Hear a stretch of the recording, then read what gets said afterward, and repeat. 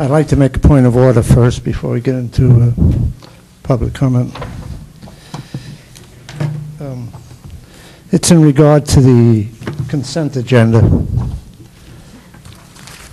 As you know, many times, uh, my name is John Farnham, 902 Gray Fox Lane, I'm sorry. Um, Many times, I have asked for items to be put on the agenda, and many times I've been ignored, and I've been told answers that weren't quite what should be given. Um, And uh, having had quite a bit of experience with Robert's Rules, I'd like to point out uh, that the consent agenda is supposed to be put at the top of the meeting. Okay, you're not supposed to go through the agenda and then just put it in front of new business. And um, I'll, I'll read right from Robert's Rules. And the question in Robert's Rules is, how can I get an item on the agenda for a meeting? For a proposed agenda to become an official agenda for a meeting, it must be adopted by the Assembly at the outset of the meeting. At the time that an agenda is presented for adoption, it is in order for any member to move to amend the proposed agenda by adding any item which the member desires to add, or by proposing any other change to the agenda. It is wrong to assume, as many do, that the president sets the agenda. It is it is common for the president to prepare a proposed agenda, but that agenda binding, is binding only if it's adopted by the full assembly, perhaps after amendment, just as described.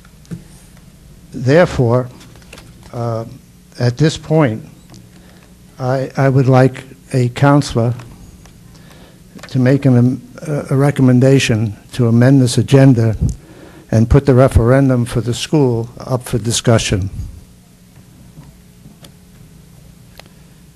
Is there any such motion? Okay? Not hearing any. It just, it just proves that we want to consistently mute the people of Rocky Hill.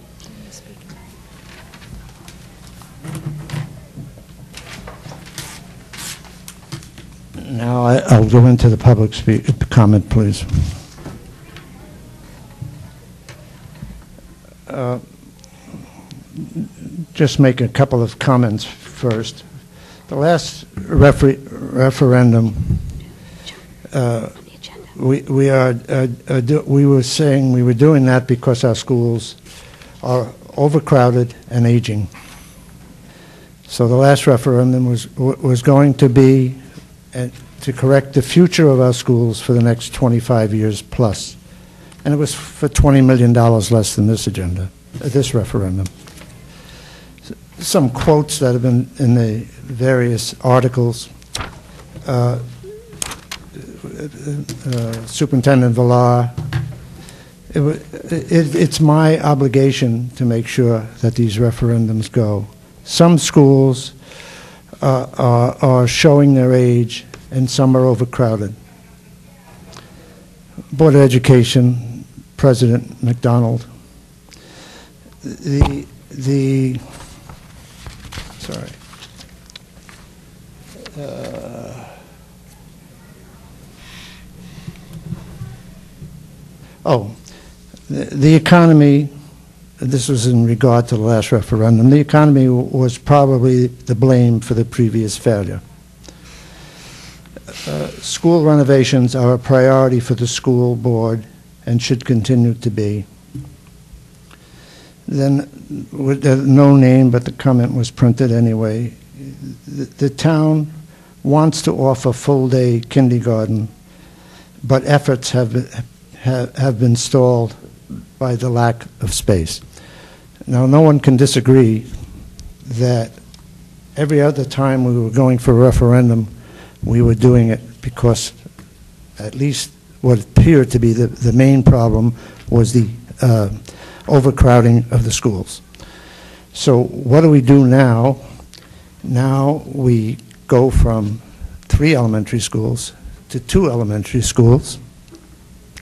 And we go with some false and misleading uh, uh, uh, uh, statements as to regard of how many students are currently in our schools. And in- in Moshe School, there were 83 students cited on, on the, the documents that was proposed to the public, and there are 83 students. In Stevens, that, the documents say there were 483 students, there were 500. In West Hill, it says there were 594 students, there are 625. I brought this up at two other meetings, and I'm getting the same response tonight that I'm going to get, that I got in the other meetings. It's just totally ignored. This is false, misleading information. The schools, the two schools that they are building will accommodate um, 1,172 students.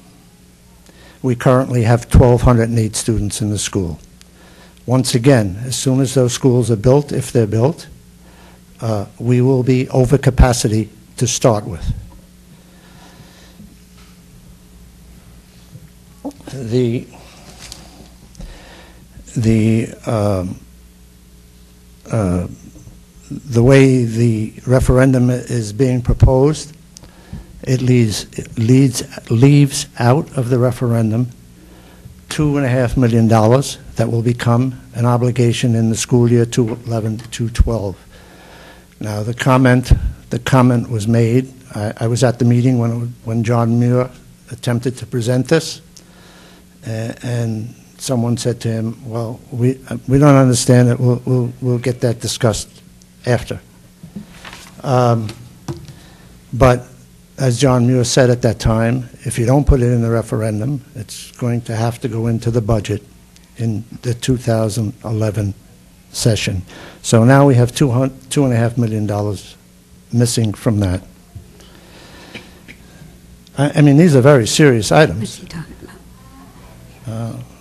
Uh, uh, The, uh,